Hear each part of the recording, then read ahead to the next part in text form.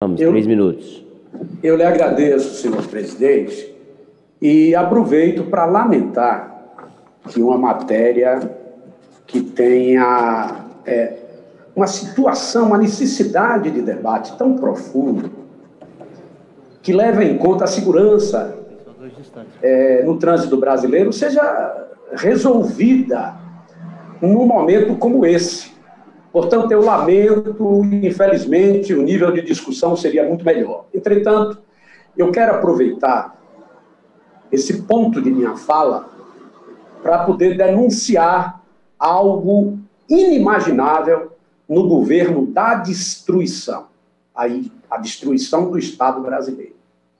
Eu quero falar do bloqueio de recursos orçamentários da Embrapa.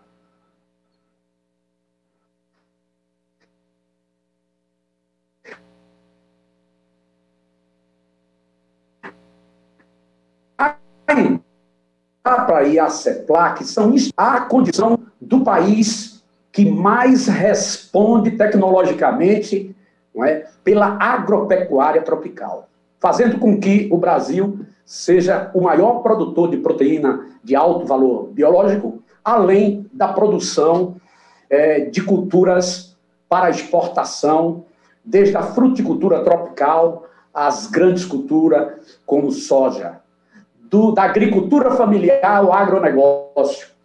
E tanto a CEPLAC quanto a Embrapa têm o que existe de melhor no mundo do ponto de vista científico, de geração de tecnologia.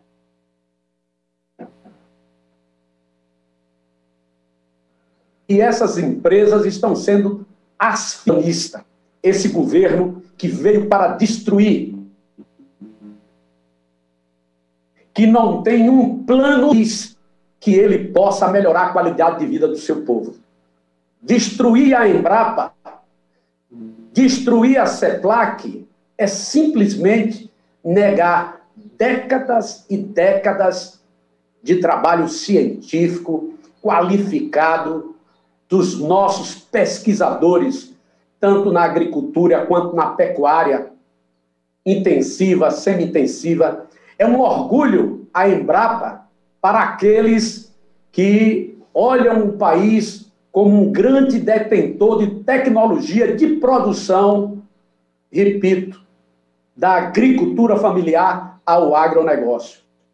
E no momento que bloqueio de centenas de milhões de reais vai inviabilizar a manutenção, inclusive dos contratos e das despesas obrigatórias da Embrapa, senhor presidente. Isso é de muito grave. Essa denúncia tem que estar gravada é, na voz do Brasil. Obrigado. Deputado Pompeu de Matos. Senhor presidente,